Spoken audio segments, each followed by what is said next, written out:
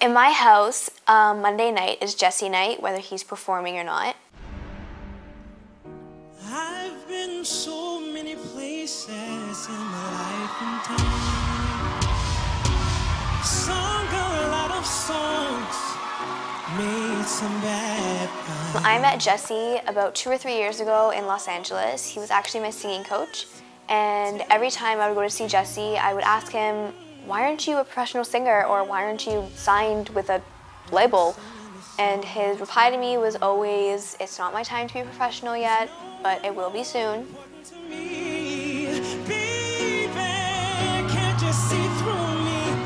So this is my vision board.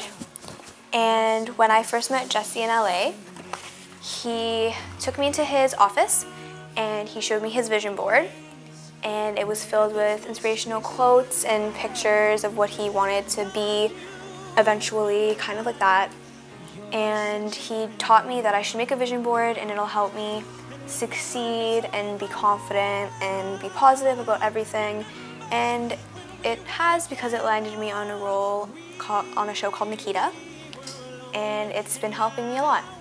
Jesse, even though you're far away from me right now, um, you still inspire me a lot and a lot of my friends. And every time I watch you on The Voice, I get like goosebumps because seeing my favorite singing coach on The Voice being all happy just makes me happy because you deserve everything that you're gonna get and everything that you're getting.